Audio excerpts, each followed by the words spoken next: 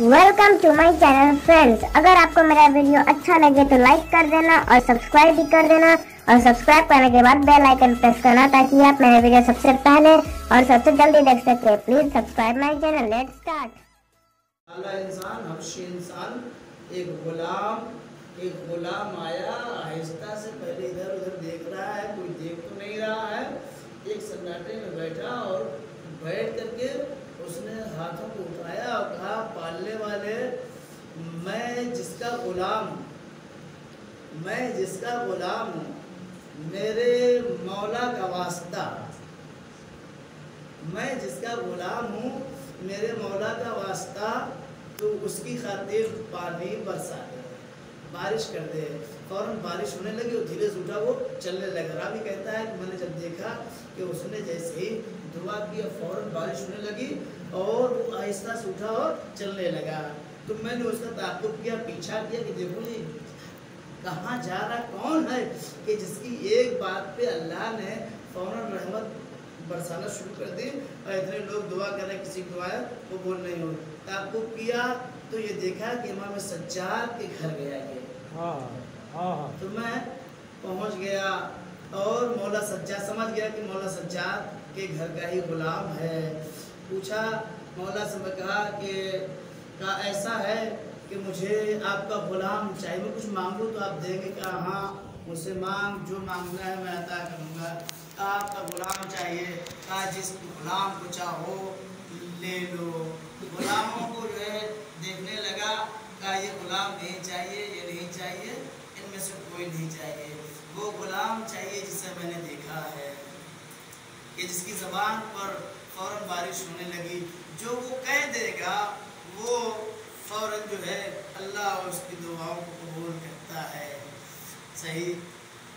तो इमाम ने आवाज़ दी, तुम छिपो मत, आ जाओ। हैं? इमाम ने कहा, भाई, तुम भी आ जाओ, तुम्हें लेने के लिए आ गए अब जो वो गुलाम आया तो इसने कहा, यही गुलाम है, जो अल्लाह से कहता है, फ़ौरन जो है दुआ को बुलाती है। मैं अपनी मफरत के लिए अपनी बख्शिश के लिए अपने गुनाहों की आप जो है तौबा के लिए इससे कहूँगा कि कह दे कि अल्लाह मेरे गुनाहों को माफ़ कर दे। इसे मैं लेके जाना चाहता हूँ। उस गुलाम ने आसमान की तरफ़ देखा और देखने के बाद कहा खुदाया मैंने तुझसे वादा किया था। खुदाया मैंने ये वादा किया था जब तक ज़िंदगी में रहूँगा ज़िंदा रहूँगा इमाम सज्जाद का गुलाम बन के रहूँगा। इमाम सज्जाद के दर को नहीं छोड़ सकता। इमाम सज्जाद की गुलामी में ही मैं रहना चाहता हूँ। पालने वाले आज मुझसे मेरे आका का घर छूट रहा है। खुदाया मुझे यहाँ से दूर न होने दे। अब तू अगर इमाम सज्जाद के यहाँ से मुझे कहीं बुलाना है तो अपने पास बुला ले। ऐसे उसने कहा, खुदाया, इस दर के अलावा बस तेरा ही दर है। अब तू मुझे अपने पास बुला ले। फ़ौरन गिरा और मर गया। देखिए, गौर किया आपने, दो तस्वीरें हैं। एक जो आया है इमाम से गुलाम मांग रहा है। तो पूछा कि मौला, ये आखिर ये गुलाम कैसा था? कहा यह मुस्तजाब दावात था। यानी इसकी दुआएँ फ़ौरन कबूल होती थी। दुआएँ इसकी फ़ौरन कबूल, जो कह देगा, अल्लाह फ़ौरन दुआ कबूल करता था। दो किरदार है। एक जानने वाला भी है एक पहचानने वाला है। आया है शायद जो सवाल कर रहा है वो इमाम को जान रहा है। इमाम को जान रहा है है? अगर जानता नहीं पहचानता भी तो कहता गुलाम क्या ज़रूरत है? आका मेरे सामने मौजूद है। ये जान रहा था। अब गुलाम से कह रहा है गुलाम दुआ कर दे है लेकिन गुलाम का कैरेक्टर देखें गुलाम जानता नहीं था गुलाम पहचानता था। जो इमाम को पहचान लेता है वो मुस्तजाब हो जाता है। तो जब इमाम को हम पहचान देंगे तो जहान दुनिया हमें पहचानेगी। पढ़े मोहम्मद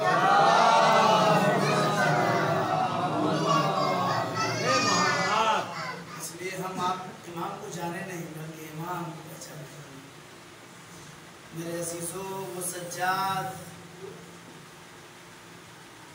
वो इमाम जिन्होंने जो गम देखा वो गम किसी ने न देखा। तारीख में कहीं ऐसा नहीं मिलता कि औलाद अपने बाप को दफन न कर सके। और मनसब इमामत ऐसे वक्त में मनसब मिल रहा है कि जब खुद बिस्तर पे हो मसला, पहला मसला जो पूछा जा रहा है तो ऐसे आलम में पूछा जा रहा है, जब खैर में चल रहे मनसब इमामत जब इमाम ने अता किया, इमाम के बाद इमाम एक लम्हे के लिए भी दुनिया उजत खुदा से खाली नहीं रहती। इमाम कोई ना कोई इमाम रहेगा। तो इमाम ने जब इमामत दी तो ऐसे आलम में दी कि बिस्तर पर इमाम से जब सवाल किया गया जैनब ने कहा बेटा तुम वक्त के इमाम हो। तुम बताओ हम खैमे में चल जाए या खैमे से बाहर निकल जाए? और इमाम ने हुक्म दिया जान का बचाना वाजिब है क्योंकि इमाम खैमे से बाहर चले जाए। मेरे अजीजों अजब मंजर था वो। जी वो कयामत का लम्हा था जिसको इमाम सज्जाद कभी फरामोश नहीं कर पाते थे। हमेशा तड़प तड़प के रोते थे मौला सज्जाद। आज शहादत की तारीख जब मेरे अजीजों। इमाम सज्जाद भी अख्तियार हमेशा रोए हमेशा इमाम सज्जाद रोते रहे। और इसी मंजर को याद करके रोते थे कि जब बेटा ये कहता है हमारे पाँचवें इमाम कहते हैं बाबा आप आँखों को बंद कर लिया करें बाबा आप सोया करें। आप कभी आँखों को बंद नहीं करते हैं? तो मेरे लाल सज्जाद मैं कैसे क्या करूँ? जब आँखों को बंद करता हूँ मुझे जलते हुए खैमे दिखाई देते हैं। करबला में लाशें बिखरी हुई दिखाई देती है। क्या करूँ मेरे लाल? मेरी आँखों के सामने मेरे बाबा का लाशा दिखाई देता है। पामाल लाशें दिखाई देती हैं। यही वजह है मेरे अजीजों कि जब इमाम के सामने हथकड़ी और बेड़ियों को लाया शिम्र ने और ला करके इमाम को कैदी बनाना चाहता है। इमाम मजबूर नहीं होता, लेकिन मसलहत खुदा के लिए इमाम ने हथकड़ी बेड़ियों को पहना। जैसे हथकड़ी बेड़ियाँ ला के असीर करने के लिए आया ग्यारह मुहर्रम को तो इमाम ने हथकड़ी और बेड़ियों को देखा, इमाम सज्जाद ने और शिमर के चेहरे को देखा और अजब जुमला कहा शिमर जब तक मेरा चचा अब्बास था, मेरे चचा के सामने तुहत हथकड़ी और बेड़ियों को लाता मुझे कैदी बनाता ऐ शिमर मेरा चचा मारा गया तू अगर मर्द था मेरे चचा के सामने आके सज्जाद को कैद कर लेता फुरात का रुख किया आवाज़ दी चचा अब्बास शिवरात कड़िया लाया है ए चचा हम कैदी हो रहे हैं हाँ जीजू यही वजह है कि इमाम सज्जाद जब कैद से रहा होकर मदीने पहुँचे, इमाम सज्जाद से जैसे ही मोहम्मद हनफिया मिले, जैसे ही इमाम सज्जाद को मालूम हुआ कि उनके चचा आए हुए हैं हाँ अजीजो, मोहम्मद हनफिया ने सिर्फ़ देखा था, रुके हुए काफिले को जो वापस आ रहा, आया है। और एक चीख मारी, बेहोश हो गए। गुलाम तेज़ी से दौड़ता हुआ इमाम सज्जाद के पास पहुँचा और पहुँच के कहता है कि आप मेरे आका की जान को बचा ले, आपके चचा दुनिया से चले जाएँगे। जाएँ। हाँ अजीजो, इमाम सज्जाद अपने चचा के जरा करीब पहुँचे। सर को उठाया, जानू पे रखा। चचा, आँखें खोलिए। चचा, आपका भतीजा है। हाँ अजीजो, जैसे मोहम्मद हनफिया ने आँखें खोली तो उसके बाद इमाम सज्जाद कहने लगे चचा आपने सिर्फ़ इस टूटे हुए काफिले को देखा है। चचा बर्दाश्त न कर सके। ए चचा मुझसे पूछिए मैंने किस तरीके से कूफे से शाम शाम से दरबार यजीद मेरी माँ बहनें पुपियाँ नंगे सर बाज़ार मैं दरबार में किस तरीके से लेके अपनी पुपियों को गया उसके बाद पहला सवाल करते हैं मोहम्मद हनफिया बताओ करबला में क्या हुआ हुआ ओ। कैसे मेरा भैया मारा गया मेरा बास कहाँ था ओए सज्जाद तड़प गए ए चचा, पहले चचा मारे गए चचा के शाने काटे गए जब मेरा चचा अब्बास ज़िंदा ना रहा तो मेरा बाबा शहीद हो गया। हाँ अजीजो, इमाम सज्जाद इस गम को याद किया करते थे। बस मेरे अजीजो, दो चार जुमले मसाइब के और सुन लें। वलीद ने, वलीद बिन अब्दुल मलिक, उसको इमाम का ये गिरिया ये इबादत भी बर्दाश्त न हुआ, उसने इमाम सज्जाद को जहर दे दिया। वलीद बिन अब्दुल मलिक ने इमाम को जहर दिया। हाँ जीजो जहर से इमाम शहीद हो गए। और धूम से जनाजा उठा, पूरा मदीना था। उस बीमार इमाम के जनाजे में सबने शरीक किया। पूरा मदीना शरीक था।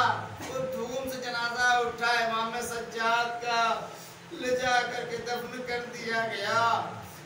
लेकिन लोग आए आके कहते हैं इमाम मोहम्मद बाकिर से कहा आपके बाबा के कब्र के ऊपर आपके बाबा का नाका वहाँ पे अपना सर पीट रहा है।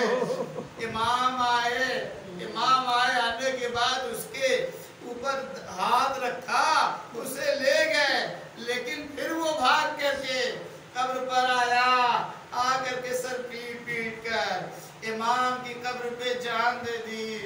लोगों ने मदीने वालों ने सवाल किया, मौला, आखिर ये नाका इस तरीके से क्यों कर रहा था?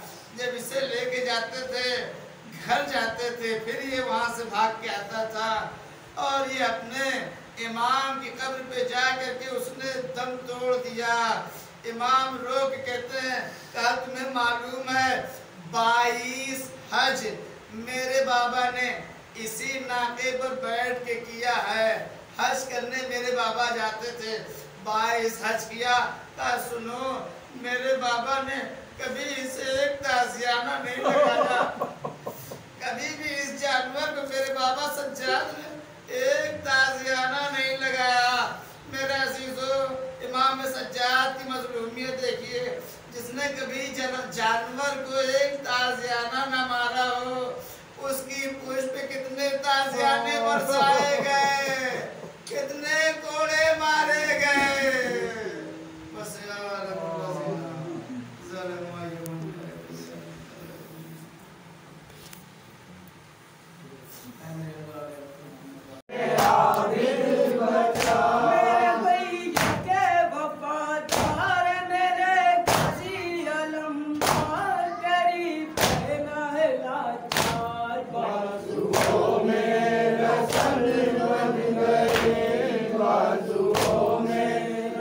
Hallelujah.